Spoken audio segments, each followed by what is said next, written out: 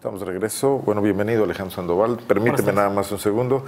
Hay un comentario de la señora María Elena Rivas eh, Velázquez, quien nos dice que no hay buenas escuelas o malas, sino buenos estudiantes. No tiene nada que ver de qué escuela se es egresado.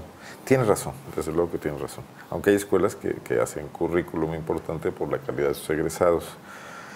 Eh, nos dice que qué pena que apenas nos demos cuenta del parentesco si ya lleva cinco años. Bueno, lleva, lleva exactamente dos años como jefa de epidemiología y lleva seis años trabajando en la Secretaría de Salud. No teníamos por qué habernos dado cuenta, no podemos manejar la nómina del gobierno, que es muy grande, y saber quiénes son y quiénes no son parientes del gobernador. Nos dimos cuenta por el tema del dengue, porque surgió la, la epidemia de dengue en Guanajuato, que ya va en alrededor de 700 casos registrados oficialmente que aumentó la semana pasada esta, y que checamos que la jefa de epidemiología era esta eh, joven doctora de apellido Melchor Márquez y supimos de su parentesco y así son las noticias, lo damos a conocer hoy que nos percatamos. Bueno, y también nos dice que chequemos los premios obtenidos por el Estado de Guanajuato. Esos también se obtuvieron con ayuda. Los vamos a investigar también con mucho gusto y, y diremos lo que está bien y lo que está mal. Bueno, pero vamos a otros temas donde las cosas están muy mal, y es en seguridad pública, la violencia. León vivió ayer una nueva, un nuevo episodio de violencia muy grave, muy delicado. Eh, Alejandro Sandoval tiene los datos, toda una familia fue levantada de su domicilio y a la postre varios de ellos ejecutados, otros no murieron, quizás porque la intención era matarlos a todos y no, no se logró, eh, pero mm, las cosas están muy delicadas en este sentido. Así, así es, muy buenas tardes Arnoldo y a todo el auditorio de Zona Franca. Fue efectivamente un multihomicidio que se registra anoche en la colonia Jardines de Jerez y esto se da momentos después de que cinco personas que se encontraban en un inmueble en la colonia San Miguel son levantadas como... ¿Eran cuántos hombres? Son cuatro hombres, y, una, y una mujer. Así es, entonces son, eh, son ascendidos, pues los suben a una, a una camioneta o sea, los, los, el comando que a la postre los asesina, ¿irrumpe en su domicilio? Así es, irrumpe en su domicilio. Aquí habría que hacer una precisión. Lo que pasa es que una de las personas fallecidas es padre de uno de los que resulta lesionados y la mujer que muere era pareja también de uno de los, de, fallecidos. De, los fallecidos. Así es, habría ahí eh, un parentesco pues de padre e hijo y también pues por la, la relación de pareja que había entre, entre, uno, entre ellas dos, ¿no? De los en este caso de la mujer y un hombre asesinados. Y bueno, resulta que son, se habla de cuatro personas, cuatro sujetos eh, armados, quienes ingresan a este domicilio de la calle Tierra Blanca, esquina con Río Usumacinta, donde se registra esta...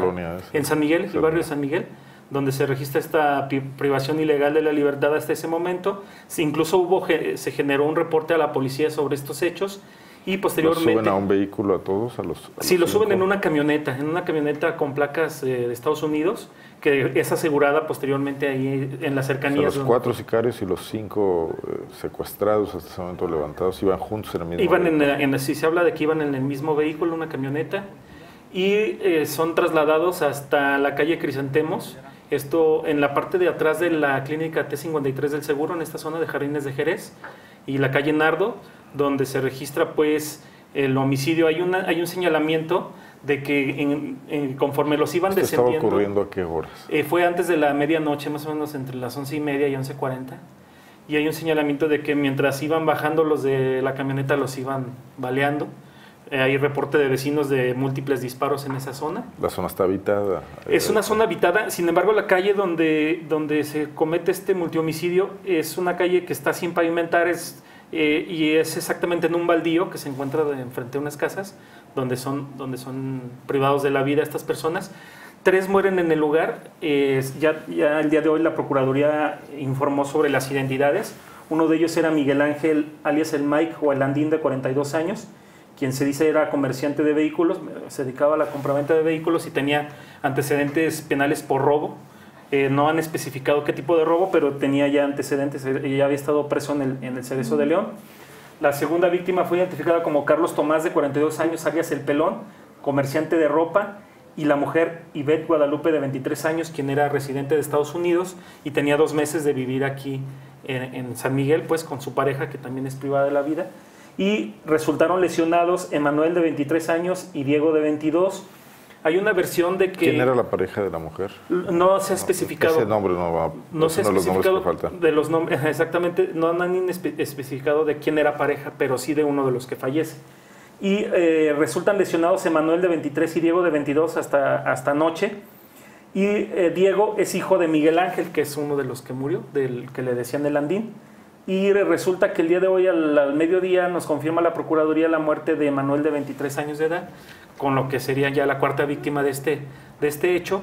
Eh, y bueno, pues una situación ahí complicada porque prácticamente fue toda la madrugada en los trabajos de peritajes y también hasta hoy, cuando se dio la atención ahí en prevención social a los medios, aún solamente se había practicado una de las necropsias, faltaban las otras dos, pero pues la causa de la muerte... ¿Los ellos- policías son avisados por los vecinos, por los que escuchaban disparos? Así es. Sí. Fueron avisados tanto en San Miguel, porque ahí es donde se da el levantón, se genera un reporte y después se genera el reporte de los disparos en la zona de Jardines de Jerez.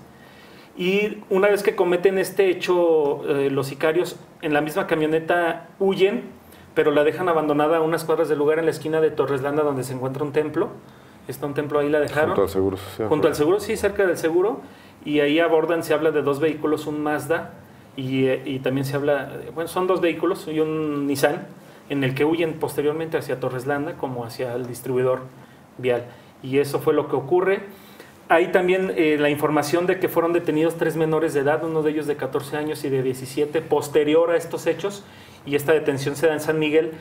Esta- estas detenciones eh, son confirmadas por la Procuraduría, Esto pero ocurre en la madrugada. en la madrugada. sí, ¿Los vinculan a estos hechos? el asunto es de que en la Procuraduría señalan que se trata de una carpeta de investigación aparte de lo que ocurrió en el... Porque en- hay medios que los han vinculado como si fueran Así es. sospechosos del, lo que pasa es de que... del homicidio. de- Lo que pasa es que una vez que se registra esto del, del homicidio, eh, se genera este, esta operatividad de policías en la zona de San Miguel, muy cercano a donde son levantados, y ahí detienen a estos tres jóvenes. Entonces, de, alguna manera se pensó que estaban vinculados, o se piensa que están vinculados ambos hechos, es decir, la detención de los menores con lo que ocurre. Sin embargo, hasta ahora la Procuraduría lo mantiene como una carpeta de investigación aparte.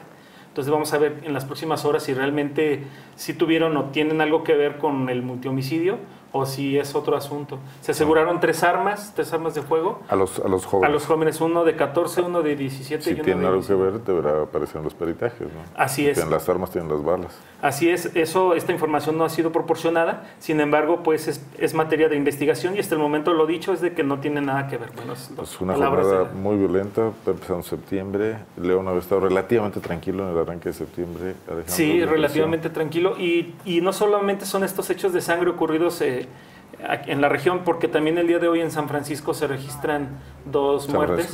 En San Francisco del Rincón. Uno de ellas a las 8 de la mañana, 8.30 de la mañana, en el Boulevard Las Torres. Eh, una persona que iba en una motocicleta se encontraba afuera de un local de venta de bicicletas.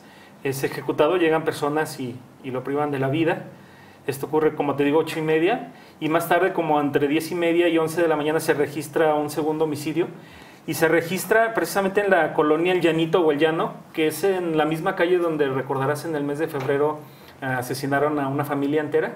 Eh, eh, es en la misma calle, en la calle Sonora.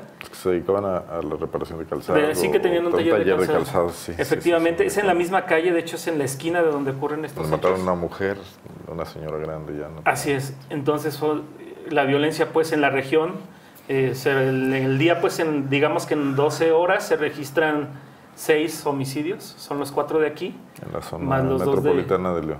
Así es, entonces pues una situación La complicada. persona ¿no? que sobrevivió del multihomicidio anoche está grave también. Sí, se reporta como grave y hay, una, hay un señalamiento de que esta persona acudió a pedir auxilio a un puesto de tacos ahí en, en Jardines de Jerez y para reportar lo que había pasado. Esto no ha sido confirmado por la autoridad, lo que sí es que sí se encuentra en estado grave.